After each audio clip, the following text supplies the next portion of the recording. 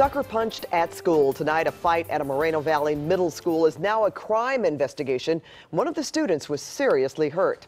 The fight left other students and parents shaken up. Some of them saying bullying has become a major problem at that school. And CBS 2's Nicole Comstock is live in Moreno Valley with video of this fight. Nicole? Pat and Jeff, the Riverside County Sheriff's Office isn't telling us whether or not they arrested anyone for injuring this boy so badly out here. But parents tell us they've seen way too many fights out here on the campus, and that even though they have signs everywhere saying Landmark is a bully stop school, they're not doing enough to stop these fights. Two young students come face to face outside of a classroom on the Landmark Middle School campus in Moreno Valley.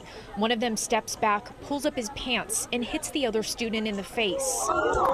We're stopping the video here because the boy was badly hurt.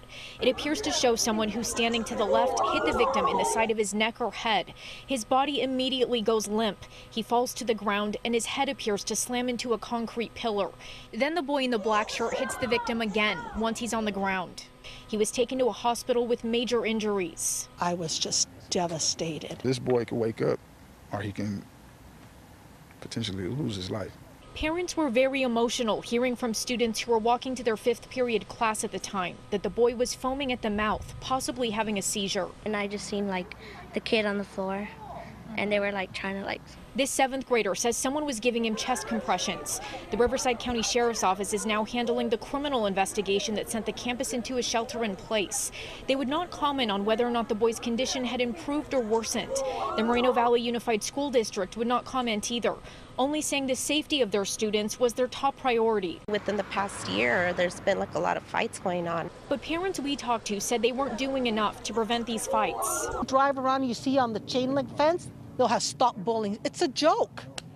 It's a total joke. Once kids see this, they'll understand life is real. They don't know the history behind Landmark Middle School. Adrian Conley remembers another tragic fight on campus back in the late 90s that left a 12-year-old student dead. He hopes this story has a different ending. I'm praying for the kid. I'm praying for the kid who did this to him.